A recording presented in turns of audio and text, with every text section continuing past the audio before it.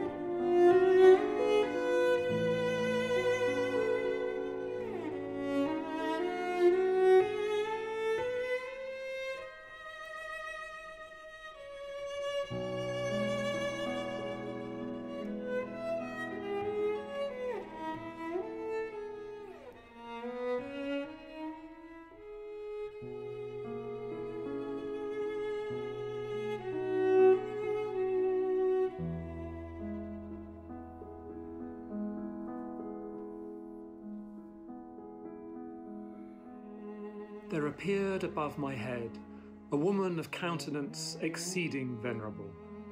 Her eyes were bright as fire, and of a more than human keenness. Her complexion was lively, her vigour showed no trace of enfeeblement, and yet her years were right full, and she plainly seemed not of our age and time.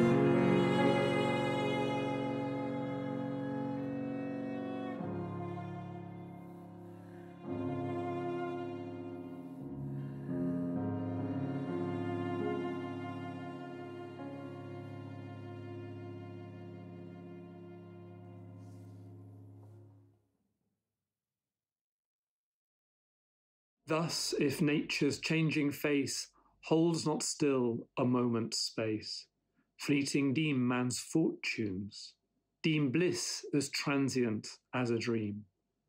One law only standeth fast things created may not last.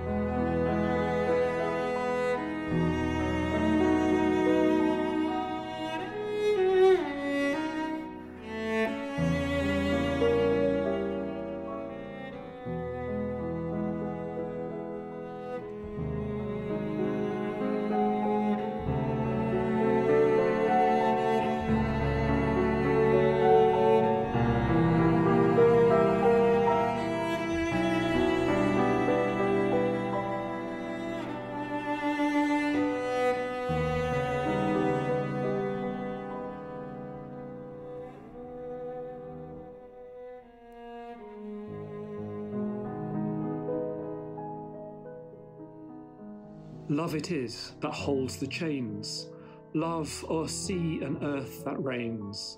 Love, whom else but sovereign love?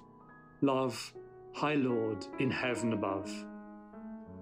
Yet should he his care remit, all that now so close is knit in sweet love and holy peace would no more from conflict cease.